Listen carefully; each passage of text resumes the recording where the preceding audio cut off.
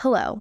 In this clip from our Justia webinar, Attorney Licensure and the Impaired Professional, Laurie Besden and Tracy Kepler will talk about their personal story regarding mental health problems and will present relevant data about mental health issues in the legal industry. Remember, if you want to see more Justia videos on law practice and legal marketing, be sure to subscribe to our channel. Good afternoon or good morning, everyone. Um, we're thrilled that you can join us today for this presentation on attorney licensure and the impaired professional. Um, just so you can, um, if you if you have questions, as Nina said, please put them in the Q and A. But if there are things that we do not get to, or um, you feel more comfortable reaching out to us offline, please feel free to do that as well. Our phone numbers, as well as our email addresses, are on the slide in front of you. Um, just to give you a little bit of overview of where we're headed in the next hour, um, Laurie and I are going to share a whole bunch of information that we hope will be incredibly helpful to you when you're thinking about the health and well being of the legal profession, as well as when you are seeing a colleague and there's a concern and that you want to reach out and that you want to help that individual, not only the individual, but yourself. So we're going to go through um, um, a share of Laurie, share her experience um, with these issues on the road to redemption. We're also going to set the stage with some data that we've seen about the legal profession and its well being or sort of lack thereof at this point. In addition, we're going to look at some of the model rules of professional conduct that speak to these issues of well being. And lastly, we're going to round out this presentation by talking about how you can reach out to a colleague where, where you're concerned that there's an issue, how you can put some best practices into your firm setting, and how you can put some best practices into your own personal life to improve your own health and well being, some boundaries, setting some expectations, um, and give you some practical takeaways as we move in um, to this not only busy holiday season, but for all throughout the week, all throughout the year. So, Laurie, I will turn it over to you to get us started with your story of the road to redemption. Thank you so much, Tracy. As Tracy mentioned, absolute honor and privilege to be here with you, whether it's this morning, this afternoon, on demand, um, and to share this information with you. I had so many thoughts as Tracy was speaking. Um, I, I, understand it could be the end of a compliance period. Sometimes people sign up because they're like, I need an ethics credit. Um, sometimes we put programs on, webinars, they're on in the background. I always feel the need to share the statistic. Only 2.6% of us can successfully multitask, meaning you put something on in the background, you're working on a brief. And I'm not saying that we should have your priority and attention. Um, but I am just saying, I, I think that's a statistic worth pointing out. I say it every single program that I present. And if you were also wondering how we are going to present all that information, in 53 minutes. I'm wondering the exact same thing. No, I'm just kidding.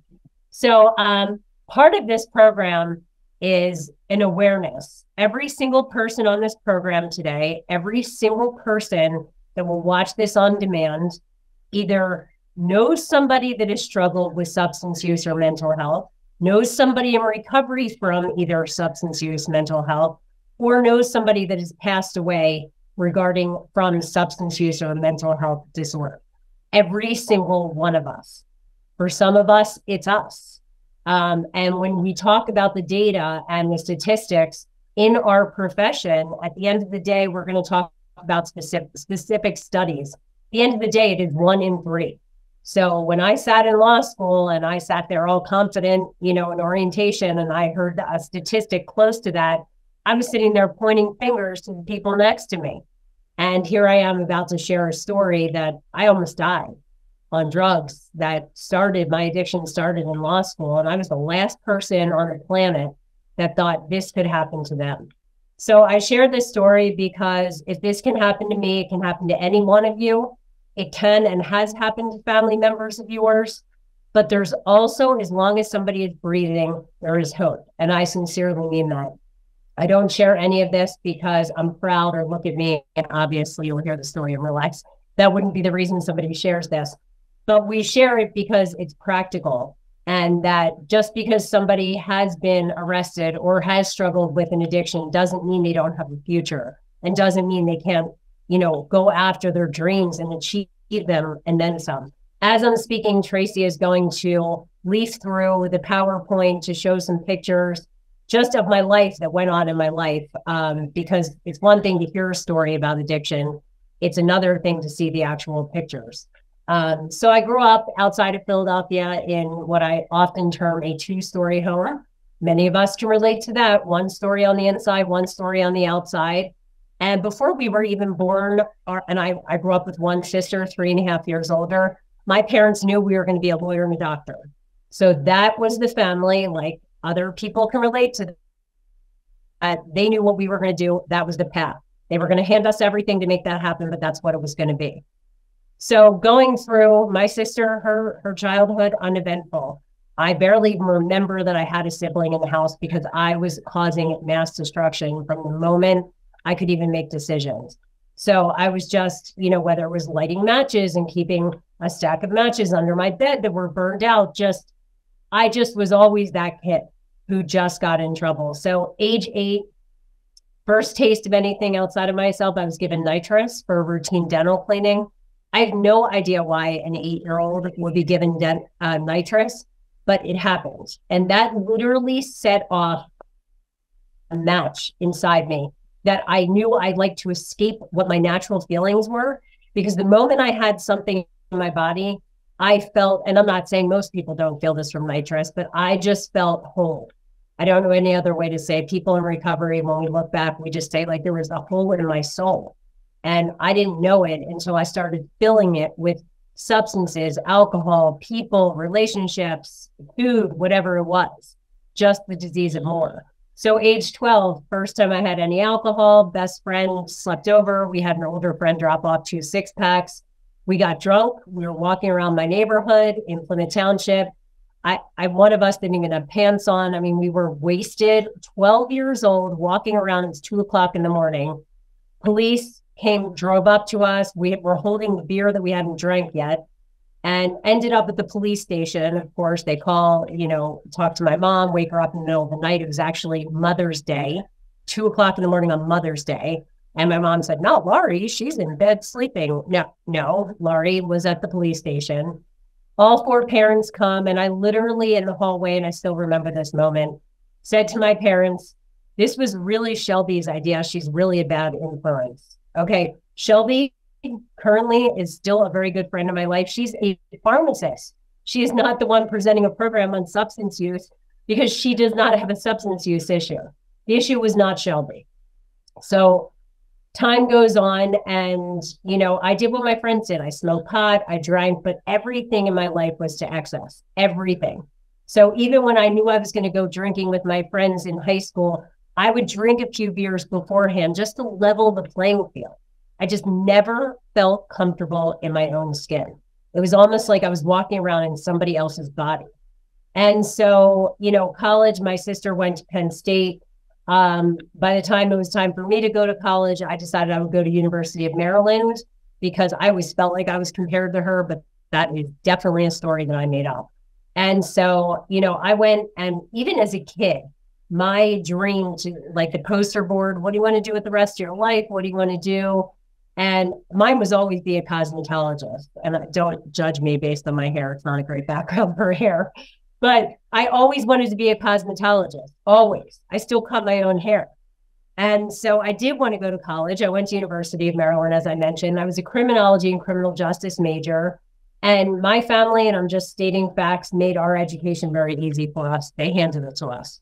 So all my family cared about, they cared about my grades. That was the only conversation we had throughout my entire education. How are your grades? How's school? How's everything? School, are you studying enough? So I graduated in three and a half years with a 3.97, which sounds fabulous. This is great. Except my behavior in college, I was living in a suite my last two years with six girls. One is still one of those people, still my best friend today. And her and I, we would get a case of beer on Thursday nights and we would literally start drinking when we were in the shower. And my thought was, this is like time management. By the time you go out, you're wasted. You don't even have to buy alcohol. Majority of the nights, we never even made it out the door. Um, and, but in my defense, I wasn't the only one doing it. She was doing it too. So I thought, I wasn't even thinking, could there be a problem? I just assumed because I was doing it and someone else that it was normal. And it's college. Okay. But unfortunately for me, the party never ended. It ended in prison. But for Kathleen, she doesn't drink in the shower now, and she didn't need to go to prison to stop that behavior. Kathleen now actually works for Homeland Security. So, very much like Shelby, these were, you know, times in people's lives and then they matured. And that never happened with me because once I set off that switch, I could never turn it back. So here I was so drunk on those fr- still Friday mornings from drinking Thursday night into Friday. I had an internship with Chrome Probation in Silver Spring, Maryland. I would line the corner stall to nap off a hangover while people were giving literally urine samples in the stalls next to me. And the iron, the irony is that I actually later ended up on parole and probation. Um, but just this entire story is so extreme because this is actually how it was. But my grades are great. So, and I honestly never knew anybody who was in recovery or needed to be in recovery. My family didn't drink or drug. So I oh. assumed this would never happen to me. So it's now time. I graduate early and my, my sister was in medical school, which is fabulous considering botany was my greatest science. It was not happening for me. And we had a family meeting. You know, Laurie, what are you going to do with the rest of your life? And I said, I want to go to cosmetology school. And they were like, that is that is great. How about after law school? It wasn't really a question, it was a statement. So I went to Dickinson School of Law, and I don't mean to sound ungrateful. I had a great experience. I'm so grateful for my education. I could not do what I do today without it. But here I went in, and people are like, I want to be a trial attorney. And I was literally like walking around with scissors. I'm like, does anybody need a haircut? I was just lost, lost. And I heard the presentation from my predecessor saying, you know, substance use, mental health, one in three of you will struggle. And I thought, who is this guy talking to? We're in law school. Does he not know who we are? And he told this story that he ended up on LSD and now worked for this organization. And I actually felt bad for him, which is kind of funny because I now have his job.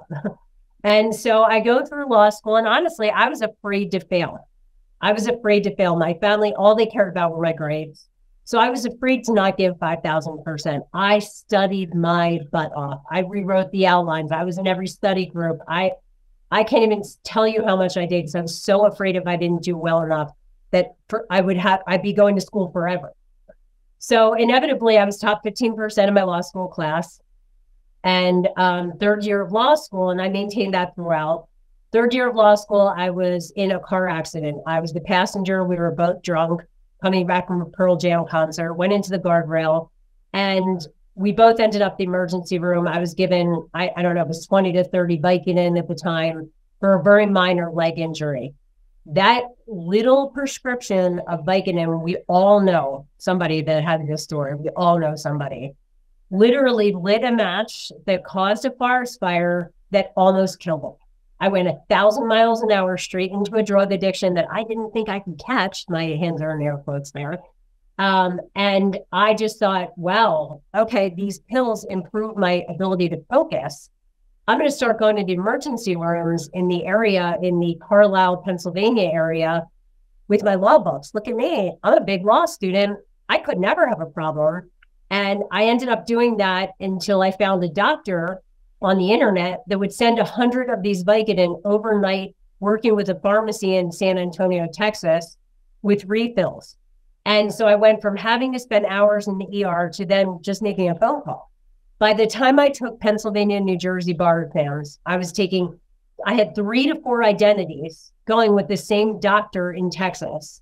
And I was literally calling him, starting to impersonate a male. It didn't even matter. But these scripts were coming. I was taking three 10 milligram pain pills an hour to get through these exams. I passed Pennsylvania and New Jersey. I I'm not proud. I share that because I needed these pills like you need oxygen. You get up, you blink, you don't think about it. I had to have these drugs or I could not get out of bed. I did not realize that for five years. Five years I was in denial. So inevitably, I passed the bar exam. I go away on a trip with the person I was seeing, Spain and Africa. I called in a refill from Spain. I fly home early. I had a clerkship that started. I clerked on Pennsylvania Superior Court for a former Pennsylvania Supreme Court justice, drafting appellate opinions. Right into chambers with me went my addiction. But I started in August. By December, I had nine identities going with the same doctor. All these drugs coming to chambers. Signature required 40 pain pills a day to function. I call one day, the doctor suspended. Doctor suspended, and I still thought it was recreational. And that's why sometimes when you talk to people that are struggling, you think, right, there's no way they can believe what they're saying. I believed what I was saying. I just thought there had to be a way to stay one ahead of the system. So I started calling in my own prescriptions. No, I'm not a doctor. No, I never went to medical school. No, I don't have my own DEA number. Figured it all out, started calling in my own scripts. I don't know. And this is while I was a law clerk licensed in two states to practice law I was calling in prescriptions from the Superior Court courted both. I'm not proud of it. It's just what the situation was. I don't know that I missed many pharmacies between Collegeville, Pennsylvania, and Atlantic City, New Jersey, about 180 mile radius. I added Ambien, I added Xanax to the mix, and obviously my tolerance skyrocketed because my access skyrocketed. I was calling in scripts of 100 with four refills. Today, that I mean, that would get flagged in a heartbeat but 25 years ago it didn't. And so inevitably that clerkship was one year. After it, that was on to the next thing. And I must have lined up another clerkship while I was still in law school because I can't imagine in my addiction that I would have had the energy. I don't have a memory of how how this came to be, but I'm sure I lined it up in law school. Another clerkship on the municipal court in Philadelphia for three judges, where the accountability was pretty low. I, they would give me work, I would take it home, I would work on it, and I would bring it back to chambers. So it was not a peer in court five days a week job. That made things even worse as far as my addiction went because I knew I didn't need to be in the office or show up necessarily. It got so bad that I was actually writing faxes to the judges in crayons and faxing them in a fax machine at like two o'clock in the morning that my dog had an emergency and I couldn't be there. I mean, I was asked to show up one to two days a week and I couldn't even do it. Also, during this second clerkship, a friend of mine, we got together. They pulled out cocaine. Again, I already mentioned I'm not from a family where I've ever seen either my parents drink or drugs still to this day. And I looked at the cocaine. Meanwhile, I'm calling in drugs left and right across two states. That's no problem, of course. And, and I thought, well, that's a serious drug. I did the cocaine. I did not stop taking that drug until my freedom was taken from me. I went to, I started about 150 pounds within I, less than less than six weeks. I was literally down to, and you can see like 110 pounds. It came off rapidly, so much so that my mom contacted the one judge I was clerking for and said, Laurie's going to need some time off. She has an issue to address. I assumed I'm obviously going to rehab. My nose is bleeding. I'm awake for days in a row. My mom had to have figured this out. And so she gave me an address. It was before Waze and MapQuest. It was MapQuest. You just literally printed out the directions, but you didn't know where you were going. There was no Google. And so I show up and I hadn't been, I was awake for four days. I'm a cocaine bender. So I brought Dunkin' Donuts, knowing I'd be doing an intake and come down and I'd be able to eat. The bottom line is my mom diagnosed me and thought I had an eating disorder. Never once, and she will admit this, we presented many times together, ever even considered that I could have possibly had a drug problem. Never even considered. She assumed I had an eating disorder problem, brought me to an eating disorder facility where, after hours of observation, including having me eat the food I brought and not asked to be excused, they refused to admit me. And my mom thought I was gaming the system. Bottom line, she went left, I went right. In that left and right, four years passed Ultimately, between 2002 and 2004, I was arrested five times one time for DUI, four for felony prescription fraud in two states.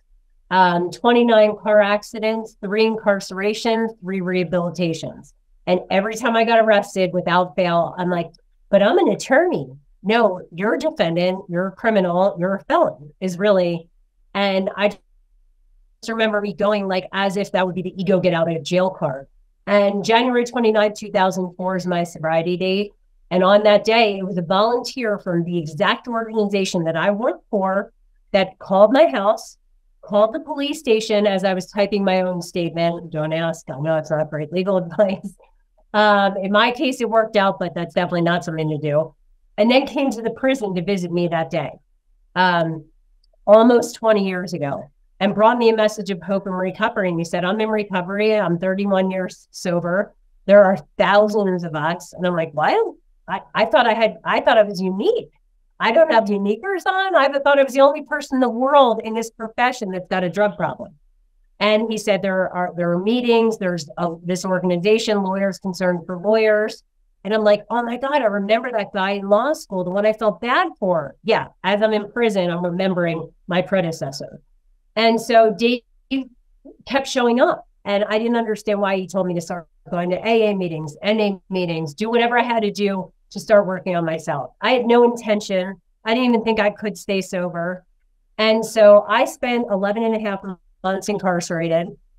Um, January, like I said, January 29, 2004 is my sobriety date. When I, w- I went into prison, I was 110 pounds at the weigh in, and I'm 5'9, so that's definitely a problem. When I left prison, um, I, at this picture here, I was 253 pounds 11 and a half months later. Food simply became my next drug in prison. Um, at this point, afterwards, I got very involved with LCL after I was released. I was obviously on parole, um, and I reported everything to the Pennsylvania Disciplinary Board. And I was suspended three years. Um, I entered a a voluntary uh, joint petition for suspension in Pennsylvania for three years, then in New Jersey for three years. I mean, how I wasn't disbarred, I can't even tell you. And I worked in a law firm. Dave let me get the job. I got very involved in recovery meetings. I started bringing recovery meetings to the prison where I was an inmate. 2008, I filed for reinstatement because Dave told me to. I know how could a convicted felon get reinstated? I couldn't even go to cosmetology school and get a state issued license, but he thinks I can get my license to practice law back. So ultimately, I filed for reinstatement by a miracle much greater than myself. Um, I was reinstated to the practice of law in Pennsylvania in 2009, and then in New Jersey in 2010. And then in 2011, I came on board with this organization that saved my life because I'm the product we sell. Hey, look at my great family. Da, da, da, da, da. And I almost died. If I did not get stopped, if the system did not stop me, I would be dead, dead 20 years ago. Um, and so I work with amazing people like Tracy, and we share this story to let people know that there's so much hope out there. As long as somebody is breathing, that there is hope. So since I've been with LCL, I filed for a governor's pardon that was supported by the Chief Justice on the Pennsylvania Supreme Court at the time by letter. excuse me. as well as the judge that sent me to prison every single one of those times, including the last time for a year, stood at the podium at the pardon hearing asking the governor to pardon me. Ultimately, that's me holding my pardon. I was pardoned in 2020. And the reason that I asked for a pardon was because there were things I wanted to do. I regretted never serving the country. And I said I would consider, you know, maybe being a volunteer firefighter. I am now six months into that process. Um, and I needed a clear record to be able to do it. In this other picture, you can see there, um, I, me and my sister, we were both artificial insemination. 2017, I sent my DNA to 23andMe, and I literally have now found 11 siblings, and my biological father, that is in that picture, um, and a couple of the siblings I found are in that picture. And I say to people all the time, get sober. At 13 years sober, you get a whole new family. Every time I see 23andMe, you have matches. I'm like, oh my God, new sibling alert. And what an amazing journey it's been. I was approved to donate a kidney in 2013. Um, I do a lot of work with animal rescue. I take my one dog, there's Maisie, to memory care. I bring her to the law schools. She's been to the state capitol. And I'm a very big, I volunteer to rescue every Saturday, all because folks like that work and volunteer with LAPS do the work that they do. There's Dave. There's also the district attorney that prosecuted me, that sent me to prison for a year. We've shared our story from American to Harvard. Um, it's been the New York Times. I've been to Peloton, which I'm a huge Peloton enthusiast. With several friends of mine that are judges. And again, I went from literally be knocking on death's door um, at 110 pounds to being given this gift of life because somebody else cared enough to pay it forward to me. So that is the way to set the stage for the program. I'm now going to turn it back over to Tracy to talk a little bit about more of the actual data and statistics. Laurie, it's it's such a powerful story. It's so important because it really does show this incredible road. And one person's story is going to morph into I, I hate going after you because it seems so anticlimactic, but we hear one person's story and then we share some of the data about the profession as a whole.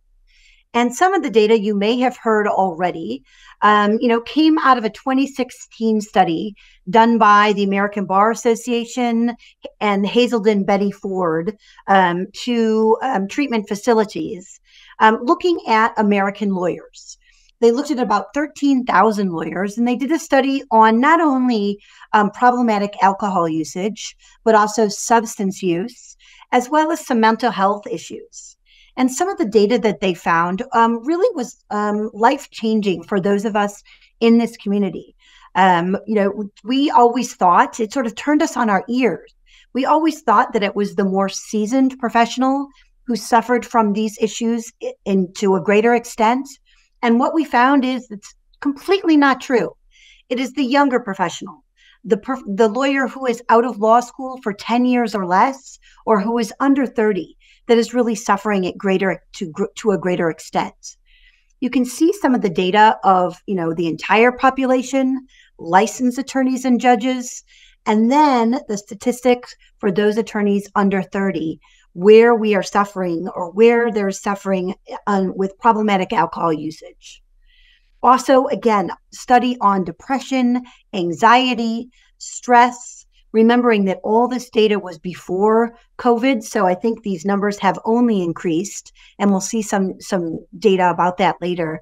You know, 28% of all attorneys responding that they are suffering from some sort of depression, stress, anxiety. And these results were similar in that we saw younger attorneys suffering from these issues at a greater percentage than their more seasoned counterparts every year um, for the past five or six or so, um, ALM and law.com has actually run a survey of about 3,800 attorneys. And I think this year's numbers um, were particularly important or surprising, but not in a good way, in that this year um, we're seeing increases right 5% increases in the number of attorneys who said that they they had some anxiety um, a 35% increase over the year before of attorneys dealing with depression. Um, you know, the number of lawyers who actually struggled with me- another mental health issue more than doubled in one year.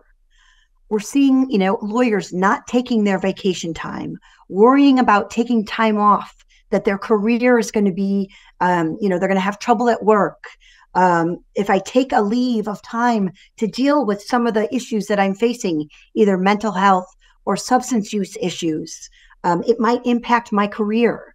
The kinds of things that people are are seeing, they're not sleeping. They feel an, an incredible pressure because of the billable hour.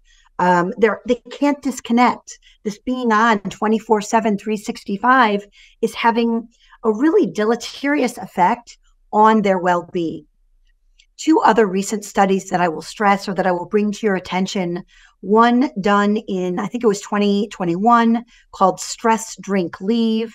It really was talking about the gender disparity that we are seeing in the profession right now, where one in four women is actually thinking about leaving the profession altogether because of these concerns, because of the mental health concerns, Um, we see some, you know, leaving the profession from men as well, but with women, there is a greater disparity. The other survey, um, it was called Stressed, Lonely, and Overcommitted. It was a survey of um, lawyers in the District of Columbia, as well as New York, about 2,000 of them. And it was focused on um, um, suicide, quite frankly. And that lawyers, you know, are two times more likely as the general population to contemplate suicide. And unfortunately, one of the main fa- factors in this or focus in this study was male lawyers, right? A notable difference there. The highest risk, a lonely or socially isolated male with a high level of unmanageable stress and overly committed to their work who may have a history of mental health problems being at the at the highest risk. Thanks for watching. We hope you enjoyed this video, and if you did enjoy it, please hit the like button and subscribe to our channel for more law practice and legal marketing videos. See you in our next clip.